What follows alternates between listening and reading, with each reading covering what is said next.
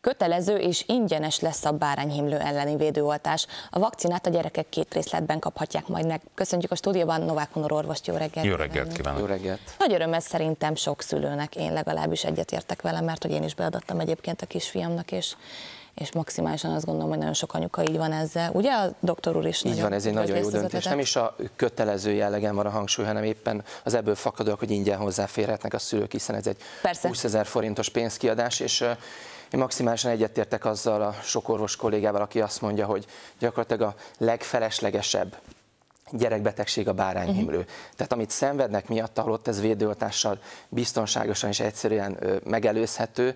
Tehát most a 21. században bárányhimlősnek lenni bűn. Tehát annyi... Tehát az a régi trend, hogy minél hamarabb esünk túl a bárányhimlőn alá jobb, az gyakorlatilag akkor nincs? Hát ez egy nagyon népszerű tévhit, hogy a bárányhimlő egy cuki betegség, és kapjál minél előbb, és uh-huh. hát nem tudom, hallottatok-e a bárányhimlő partikról? Na, mint fogalom. Nem.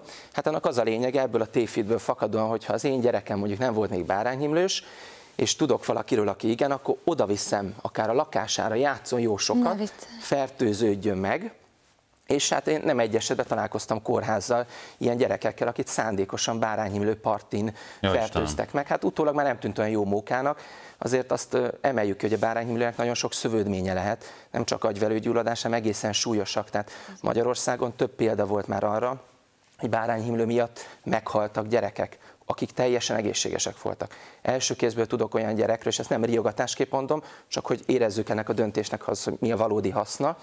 Tudok olyan gyerekről, egy 14 éves lány, teljesen egészséges volt, bárányhimlő miatt mindkét szemére maradandóan megvakult. És ezek gyakorlatilag védőoltással, ezek a súlyos szövődmények 100%-ig megelőzhetők, tehát ezért nagyon fontos. Melyik korosztálya, kire a legnagyobb veszélye van a bárányhimlő? Hát gyakorlatilag minden korosztályra veszélyes. Hogyha De kisebbeknél nyilván Kisebbeknél azért. igen. Annyi különbség van, hogyha valaki felnőttként kapja el a bárányhimlőt, ott általában még súlyosabb a lefolyás. Főleg férfiaknál, hogyha jól tudom. Hát mi ugye a láznál is ki vagyunk, tehát nem, hogy egy bárányhimlőnél. Mármint a szövődmények tekintetében gondolom. Hát lehet különbség, így van.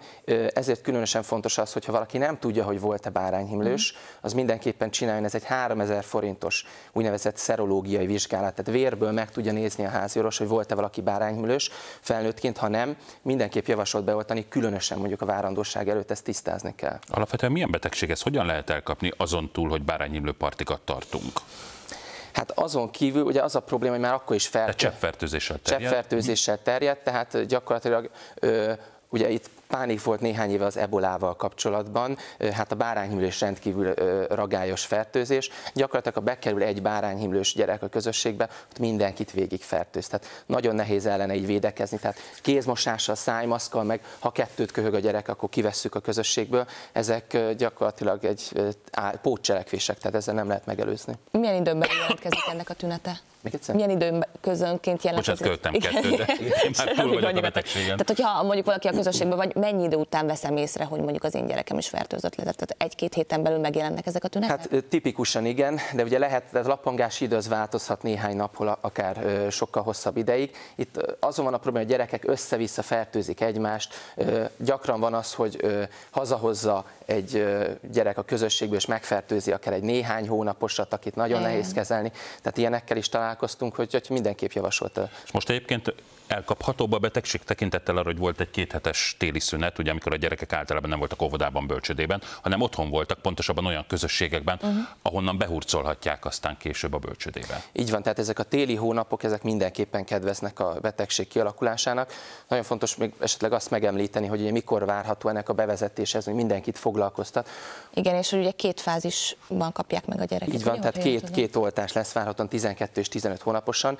Hát konkrétat nem tudunk, de annyi annyit azért elárulhatunk kulisszatitokként, hogy reálisan nézve itt az egész szabályozás meg tendereket, ez 2019 előtt minimális esélye van, hogy ez sajnos megtörténik, illetve valószínűleg aki már ugye nagyobb gyerek, az visszamenőleg nem kapja meg, mert ezt 12-15 hónaposan tervezik beadatni. Tehát azért én azt javaslom mindenkinek, hogy ez egy nagyon jó kezdeményezés, és nagyon jó lesz, hogy kötelező lesz, de azért ne várjanak vele, tehát aki teheti, az oltassa be már most a gyerek. Mennyi a lappangási idő, doktor úr? Hát gyakorlatilag több nap lehet, tehát mondjuk átlagosan egy tíz nap. És amikor már lappang a gyerekben, akkor még beadathatjuk, hiszen még nem jött ki rajta, és nem tudjuk, akkor nem lesz baja? Ö, nem lesz baja, sőt, egyébként még az is nagyon fontos, hogyha nincs beoltva a gyerek bárányhimlő ellen, de tudjuk, hogy egy olyan gyerekkel volt együtt uh-huh. tartósan, aki elkapta a bárányhimlőt, akkor ilyenkor három napon belül, uh-huh. tehát három napon belül még nagyon javasolt a védőoltás beadása, mert jelentősen enyhíti a betegség lefolyását. Nagyon szépen köszönjük, Köszönjük szépen. Úrnak, hogy itt Én köszönöm. velünk.